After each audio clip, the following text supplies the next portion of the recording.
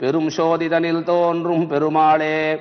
முன் சீரணிந்த பாண்டியன் தன் நெஞ்சு தன்னில் துயக்கரமால் பரத்துவத்தை திறமாச் செப்பி வாரணவேல் முதுரபலம் வரவே வானில் மால் கருட வாகனனாய் தோன்ற வாழ்த்தும். ஏரணி பல்லாண்டு முதல் பாட்டு நானூத்தெழுபத்தொன்று இரண்டும் எனக் உதவு நீயே. பேரணிந்த வில்லிபுத்தூர் ஆணிதன்னில் தோன்றியதான பெரியாழ்வார் சுவாதி நட்சத்திரத்திலே தோன்றியவர். இந்த பெரியாழ்வார் வைணதேயருடைய அம்சமாக கருடனின் அம்சமாக இருந்தவர். ஆக ஒரு பெருமாள் ஒரு ஆச்சாரியன் ஒரு ஆழ்வார் என்று சொல்லக்கூடிய இந்த மூவரும் உதித்ததாக இருக்கக்கூடிய நட்சத்திரமும் சுவாதி நட்சத்திரமாகும். ஆக சுவாதி நட்சத்திரம் வாயு தேவதை வேத ஆத்மாவாக இருக்கக்கூடியதான கருடன் மிகவும் விசேஷமாக படிக்கப்பட்டிருக்கிறார். ரிக்வேதத்திலே கூட ஸ்வஸ்தயனம் தார்க்ஷம் அரிஷ்டநேமிம் மகத்பூதம் வாயசம் தேவதானாம் அசுரக்னமிந்திர சகம் சமத்சு பிருகத் சத்யா நாவமிவாருகேஸ்தே அதாவது ரிக்வேதத்திலே மகத்பூதம் என்று கருடனை கூப்பிடுகிறார்கள். தேவபக்ஷி என்றும் அசுரர்களை அழிப்பவன் என்றும் இந்திரனின் நண்பன் என்றும் கருடன் புகழப்படுகிறான். லக்ஷ்மணனை கருடனே நாகபாசரத்திலிருந்து விடுவித்ததாக ஸ்ரீமத் ராமாயணமும் சொல்கிறது. இத்தகைய கருடன் யாவருக்கும் மங்களத்தை அளிப்பவனாக இருப்பதினால்தான் ஒருவருக்கு எந்த விதமான தடையாக இருந்தாலும் அவர்கள் கருத்மானை சேவித்தால் எல்லா விதமான தடைகளும் நீங்கும் என்று பெரியோர்கள் சொல்லுவர். ஆக வேதாத்மா விககேஸ்வரகா என்று சொல்லக்கூடிய கருத்மான் வேதத்திலே புகழப்படுகிறான். எப்படி என்றால் அக்னியை ஆக்கிருத்தியாக சரீரமாக உடையவன். இந்த கருத்மானின் வித்தை காருட வித்தை என்று சொல்லப்படும். பல வித்தைகளிலே 32 வித்தைகளிலே முக்கியமாக சொல்லப்படுகிற 32 வித்தைகளிலே காருட வித்தை என்று சொல்லக்கூடியது பலவிதமான மந்திரங்களை உள்ளடக்கியது. கருடனின் மந்திரம் பஞ்சாக்ஷரி என்று சொல்லுவார்கள். பிரணவத்தோடே சேர்ந்து நமசப்தத்தோடே சேர்ந்து கருடனின் பெயரும் சேர்ந்ததாக இருக்கக்கூடிய இந்த பஞ்சாட்சர மந்திரத்தை எவ்வளவு ஜபித்தாலும் சரி அவ்வளவு சீக்கிரம் பலன் கிடைக்கும் என்று சொல்கிறது. இந்த காருட பிரம்ம வித்தியிலே கருடோபனிஷத் பலவிதமான உபனிஷத்துகளிலே கருடோபனிஷத் என்று சொல்லக்கூடியதான உபனிஷத்திலே கருடனின் பெருமையானது கருடனின் காருட வித்தியானது மிகவும் உறக்கப் பேசப்படுகிறது. அப்பேற்பட்ட கருடன் வேதத்திலும் புகழப்படுகிறான். வேதத்தினால் ஏற்படக்கூடியதான பெருமைகளை உடைய நாலாயிர திவ்ய பிரபந்தங்களிலே சாக்ஷாத் எம்பெருமானுக்கு அடுத்தபடியாக கருடனும் புகழப்படுகிறான். ஆக ஒருவருக்கு சொல்லக்கூடியதான விஷயம் சொல்லக்கூடியவர்கள் சொல்லப்படுபவர்கள் என்று மூன்று உண்டு. சொல்லக்கூடிய விஷயம் என்று எடுத்துக்கொண்டால் விஷயம் கருத்மானை பற்றி. அவர் வேதாத்மா சகலவிதமான வேதங்களையும் தான் கற்று அறிந்து அதன் ஸ்வரூபமாகவே அதன் அங்கமாகவே இருக்கக்கூடியவர்.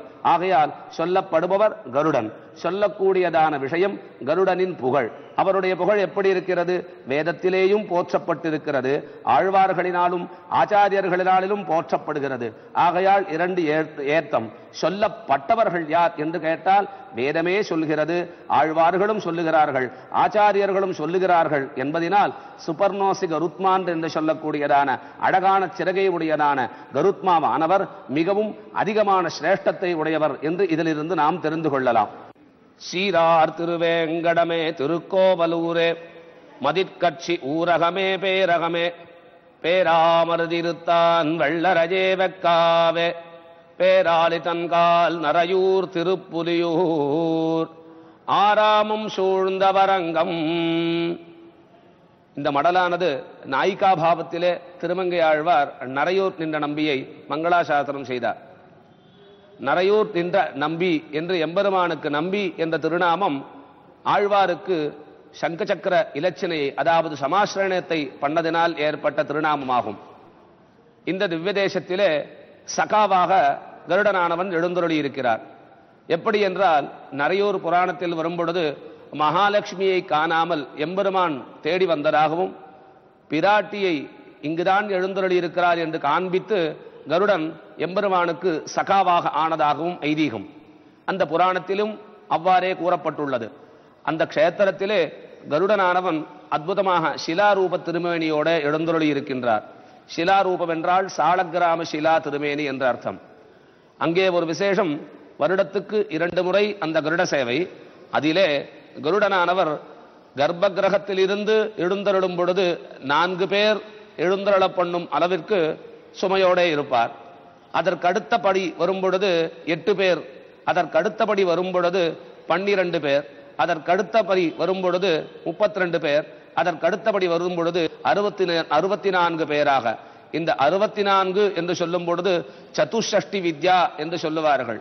அறுபத்தி நான்கு கலைகளையும் அருளக்கூடியதான அனுகிரகத்தை உடையவர் கருத்மான் என்பதை காண்பிக்க காண்பிப்பதற்காகவும் இதே போன்று இந்த அறுபத்தி நாலு பேர் எழுந்தருளப் பண்ணுவது என்றும் பெரியோர்கள் சொல்லுவது உண்டு. ஆக மறுபடியும் எம்பெருமான் திருவீதி புறப்பாடு ஆகி உள்ளே எழுந்தருளும் பொழுது இவை படிப்படியாக குறைந்து கர்ப்ப கிரகத்திலே நான்கு பேரோடே எழுந்தருளி கடைசியாக ஆஸ்தானத்துக்கு எழுந்தருளுவார். இதில் விசேஷ என்ன விசேஷம் என்னவென்றால் எல்லா காலங்களிலும் எல்லா உற்சவங்களிலும் முக்கியமாக இருக்கக்கூடியது கருடத்வஜம். ஆகையால் தான் கருடரை துவஜமாக உடையவன் உடையவன் என்பதனால் கருடத்வஜகா என்று எம்பெருமானுக்கு ஒரு பெயர். உற்சவாதிகளிலே துவஜாரோகணம் என்று சொல்லும் பொழுது கருடனை தான் துவஜாரோகணத்திலே எழுந்துருளப் பண்ணுவர். காரணம் கருடனானவன் எல்லா தேவதைகளும் சீக்கிரமாக கூப்பிட்டு இந்த தேவதாஹ்வானத்திற்கு ஏற்பாடு செய்வார் என்பதனால் கருடத்வஜத்தை தான் எம்பெருமானுக்கு உற்சவ காலங்களிலே.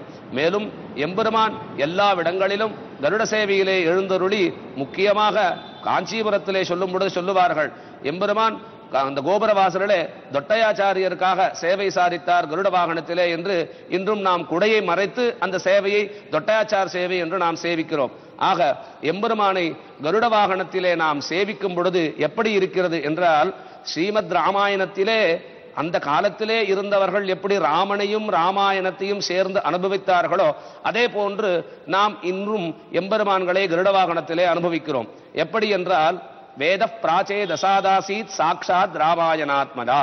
வேதவேத்யே பரே பும்சி ஜாதே தசரதாத்மஜே. வேத பிராச்சே தசாதாசீத் சாட்சாத் ராமாயணாத்மனா என்று வேதமும் ராமாயணமாக எம்பெருமானும் ராமனாக அவதரித்து எப்படி அனுகிரகம் செய்தார்களோ அதே போன்று இப்பொழுது கருடனும் எம்பெருமானும் இருவரும் சேர்ந்து எழுந்தருளி நமக்கு அனுகிரகம் செய்கின்றனர். இதுவே கருட சேவையின் தாற்பயமாக சொல்லுவார்கள் பெரியோர்கள். அப்பேற்பட்ட கருடனை நாம் இந்த வேதத்தின் சுவையிலே இன்று நாம் சற்று அனுபவித்தோம். சகனாபவது சகனௌ புனக்து. सह वीर्यङ्करवावहै।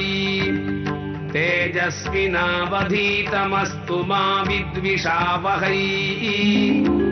ॐ शान्तिः शान्तिः